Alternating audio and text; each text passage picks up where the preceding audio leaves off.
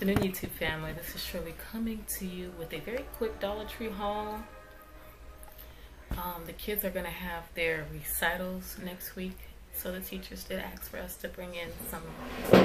Well, I, I decided to bring in some paper plates and napkins, and I also had to go get some gift bags um, for some of the teachers, the school bus, the mailman,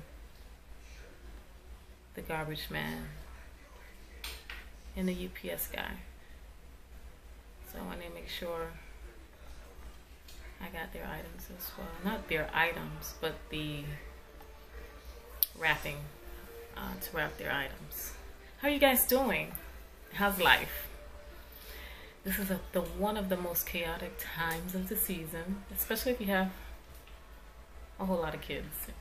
but I only have three, which is still a lot, but they all have different recitals on different days, all at 6 p.m. Eastern Standard Time, and it's going to be busy next week. So that we tried to do a traditional opening with the ceremony with doing an outdoor, you know, turning on the lights and everything, which was an epic fail. But we'll continue on. We'll try to keep it going next year. Hopefully we'll improve. Um, what else? Starting to wrap up a couple of gifts. I'm starting to put them under the tree. My next videos, I should be recording downstairs from now all the way till New Year, so you guys will be able to have a glimpse of the tree. Yeah, so wanted to show you guys a couple of things really quickly, and you guys let me know how's the week treating you. All right, here are the items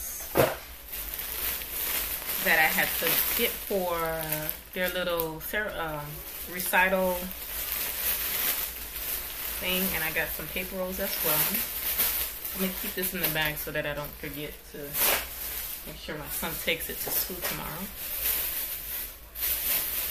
I also bought puzzles. My youngest son does ABA therapy, and they've been losing these pieces. So when he when he completes the puzzles, he's like, "Oh no!" And there's like a whole either one or two are missing. So now I got to find a way to replace them and find some type of strategy on how to keep them together. So I got Peppa Pig.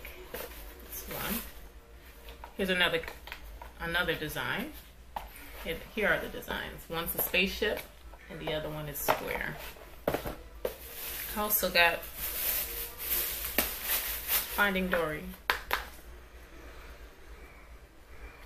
This is one of my all-time favorite movies. If you've seen the original, it is one of those joyful movies that causes you to, cry. I've noticed a lot of these uh, movies that are designed for kids. For adults, it's very entertaining. I enjoy watching the whole thing. And they, they pull, they tug at your heart sometimes when there's like a sad or emotional part of the movie.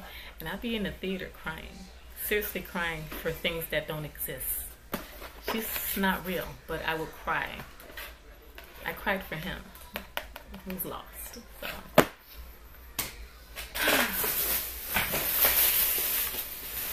Here's another um, puzzle. I got the tower. He loves the tower. And this is Peppa Pig again. And I also got the Superhero Avengers I think I'm going to toss the other ones out, the ones that have missing pieces. Also, there's these little small ones that I, I'm going to keep for when we're, we're traveling for New Year's, when we go up to the Smoky Mountains. When we go in the cabin, when we lodge for New Year's. These are going to go with us. So he'll keep himself busy and occupied. Here are the, the, the plates that my middle son needs for school. Just put it in that bag. Oh, and these cute little bags. There's two of the gift bags. Medium size, nothing big. These are to be for the ABA therapy teachers. There's bought wrap, just one, to wrap up some of the boxes.